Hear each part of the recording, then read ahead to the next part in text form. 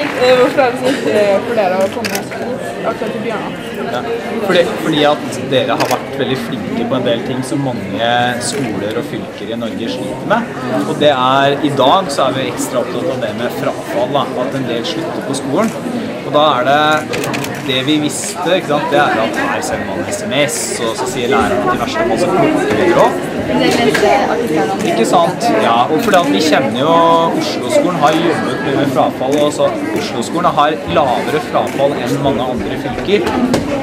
Men så det, det jeg faktisk ble mest sånn Eller enda mer positivt overraska over, det var jo også at elevene også er opptatt av. At det er en sånn at man er bekymra hvis det er en som blir borte, hvis man ser at noen er i ferd med å gli ut.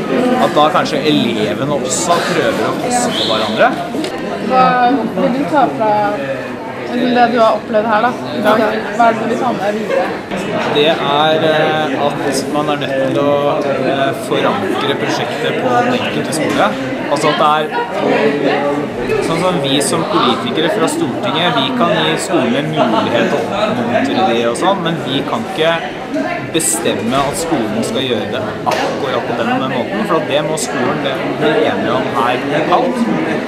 Altså det må dere finne ut, rett og slett. Så kan man ha med elevene, man ha med alle lærerne, man må ha og sånn.